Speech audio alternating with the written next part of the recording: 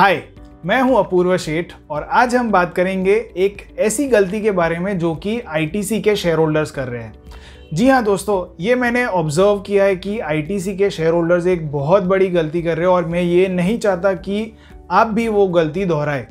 तो इस वीडियो में मैं ये गलती क्या है, इसके बारे में बात करूँगा। अब आईटीसी के शेयर्स सबको पता है कि पिछले कुछ सालों में अंडर परफॉर्म कर रहे B S C F M C G index को भी अंडर परफॉर्म कर रहे हैं और निफ्टी को भी अंडर परफॉर्म कर रहे हैं। तो आईटीसी का शेयर प्राइस एक रेंज में अटक सा गया है और हिलने का नाम नहीं ले रहा है। आईटीसी के शेयर प्राइस को देख के मुझे एवरग्रीन शिप की याद आती है, जो कि कुछ मेहनत के बाद निकल तो गई वो रेंज से, लेकिन आईटीसी का स्टॉक बहुत सालों से उसी रेंज में पड़ा है। अब आईटीसी पिछले चार पाँच साल में कंपनी अच्छी खासी प्रॉफिटेबल है सेल्स भी है तो everything is nice but despite that I T C is not moving अब इसकी बहुत सारे वजह बताई जाती है, जैसे कि टबैको एक डिक्लाइनिंग इंडस्ट्री है ई एस जी इन्वेस्टमेंट्स की वजह से आई टी सी का स्टॉक नहीं चल रहा है तो ये बहुत सारी चीज़ें हैं और मैं इन चीज़ों के बारे में डीप में नहीं जाना चाहता। इन चीज़ों के बारे में ऑलरेडी बहुत लोगों ने बहुत सारी बातें की है। तो मेरा ये जो वीडियो है वो स्पेसिफिकली आईटीसी के शेयर होल्डर्स के लिए अब आईटीसी के शेयर होल्डर होने का मतलब क्या है? आईटीसी के शेयर होल्डर होने का मतलब ये है कि आपको आईटीसी पे कॉन्फिडेंस है। You have faith in ITC and that's why you are holding on to that stock right तो अगर आप आईटीसी का स्टॉक होल्ड करके रख रहे हो तो ये वीडियो आपको ज़रूर देखना चाहिए और ये गलती आपको बिल्कुल भी नहीं दोहरानी चाहिए। तो अब पिछले कुछ पाँच छः सालों में एक बहुत अच्छी चीज़ जो आईटीसी के साथ हुई है, वो है कि आईटीसी ने बहुत ही अच्छे खासे डिविडेंड्स दिए और हाल ही के दिनों में तो डिविडेंड्स और भी ज़्यादा बढ़ के आ रहे हैं। इनफैक्ट अभी कुछ दिनों के पहले ही आईटीसी ने फिर फिर से पाँच रुपये पचहत्तर पैसे का डिविडेंड अनाउंस किया और डिस्ट्रीब्यूट भी किया। तो आईटीसी में डिविडेंड्स की, जैसे कि एक कहे तो बाढ़ आ गई है। अब बहुत सारे लोग ये गलती करते हैं कि इस डिविडेंड को वो री इन्वेस्ट नहीं करते री इन्वेस्ट करने का मतलब क्या है कि जिस दिन भी, जैसे भी आपको डिविडेंड मिले, आपके अकाउंट में पैसे आए, उसी दिन पे आपको डिसिप्लिन के साथ फिर से वही कंपनी का स्टॉक ले लेना चाहिए। That's what reinvesting the dividend is all about आपको उसी कंपनी में फिर से शेयर्स ले लेने चाहिए rather than letting the dividend amount stay in your savings account अब इसका एक सिंपल रीज़न मैं आपको बताऊँ तो आईटीसी का जो रिटर्न ऑन इक्विटी है रिटर्न ऑन इक्विटी वो होता है कि इक्विटी शेयर होल्डर्स को कितना प्रॉफिट मिल रहा है या कितना पैसा मिल रहा है? तो आईटीसी का return on equity ratio is 21 percent तो आईटीसी हर सौ रुपये पे इक्कीस रुपया अपने शेयर होल्डर्स को कमा के दे रहा है।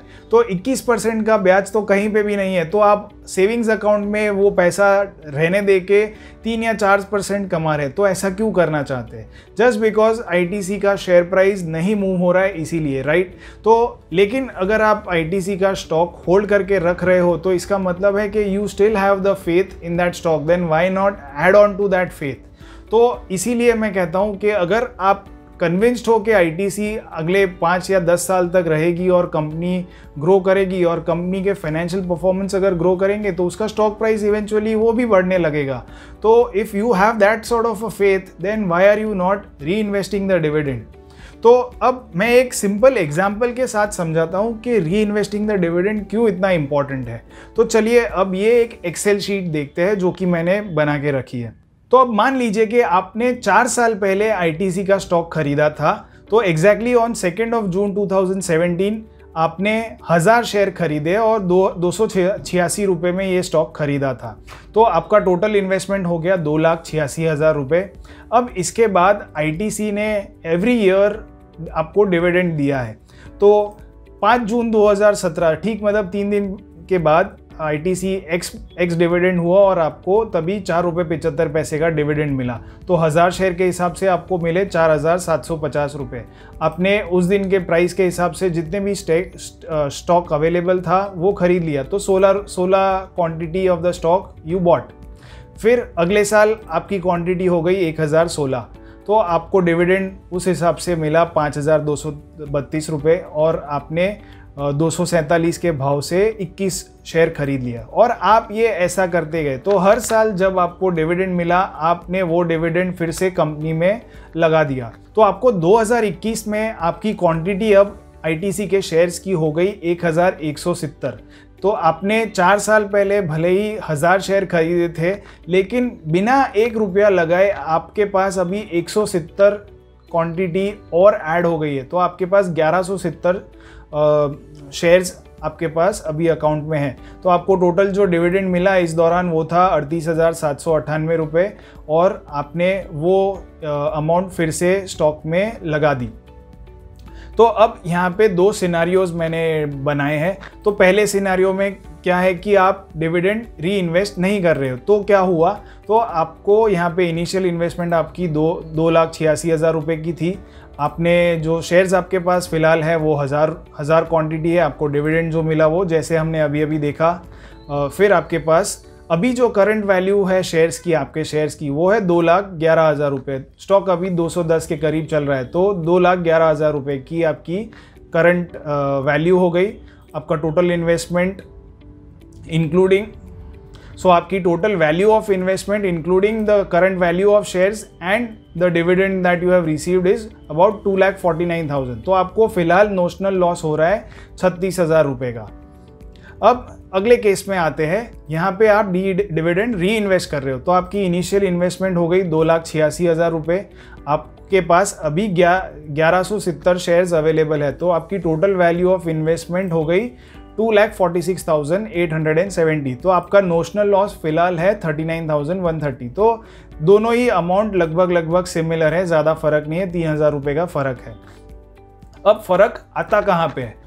तो अब अगर मान लीजिए आईटीसी की कीमत एक साल बाद हो जाती है चार सौ रुपये which is very much possible तो अगर चार सौ रुपये हो गए तो आपको हज़ार शेयर के हिसाब से आपकी न्यू वैल्यू ऑफ़ इन्वेस्टमेंट हो जाएगी चार लाख रुपए which will be substantially higher than your initial investment तो आपको नोशनल प्रॉफिट और लॉस जो होगा वो यहाँ पे initial investment minus the current value of investment and plus you can add the dividends तो आपकी जो नोशनल प्रॉफिट या लॉस होगा, वो होगा एक लाख बावन हज़ार रुपये लेकिन जो अगला केस है, जहाँ पे हमने डिविडेंड री इन्वेस्ट किया है तो अगर आपने डिविडेंड री इन्वेस्ट किया है तो आपकी जो करंट वैल्यू ऑफ़ इन्वेस्टमेंट होगी, वो होगी चार लाख अड़सठ हज़ार रुपये और आपका नोशनल प्रॉफिट या लॉस होगा, वो होगा एक लाख बयासी हज़ार रुपये which will be substantially higher than your profit which would have been when if you would have not invested the dividend तो ये सीधा सीधा आपको तीस हज़ार रुपए का यहाँ पे बेनिफिट है और इसकी खास बात यह है कि मान लीजिए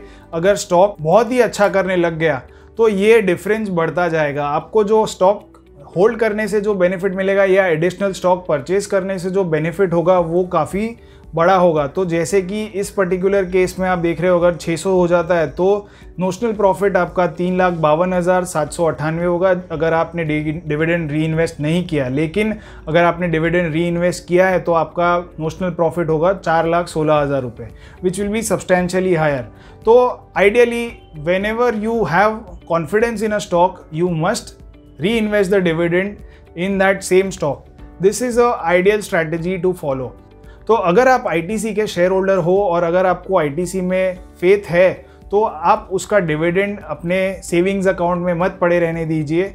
उसको री इन्वेस्ट कीजिए। That is the ideal thing to do तो जैसे कि हमने देखा over a period of four years आपके पास 170 क्वांटिटी ऐसे ही इट इज़ वर्चुअली फ्री आपको डिविडेंड में से ही वो क्वांटिटी परचेज करनी है। तो आपने एक नया पैसा नहीं लगाया, लेकिन फिर भी आपकी क्वांटिटी धीरे धीरे बढ़ जा, बढ़ रही है। तो over a period if you keep on doing this तो आपका जो नेट रिटर्न होगा स्टॉक में if the stock continues to perform and it performs over a longer period तो आपका जो ओवरऑल बेनिफिट होगा वो काफ़ी अच्छा और बड़ा होगा। तो please consider this and don't make this mistake which most of the other share holders are doing so मैं आशा करता हूँ कि आप इस पर्टिकुलर चीज़ पे गौर करेंगे। अगर आपको ये वीडियो पसंद आया है तो इसे लाइक कीजिए शेयर कीजिए। और भी जो आपके फ्रेंड्स या फैमिली मेंबर्स है जो कि आईटीसी के शेयर होल्डर्स है तो उन्हें ये वीडियो खास भेजिए। So that's all for today thanks a lot and have a nice day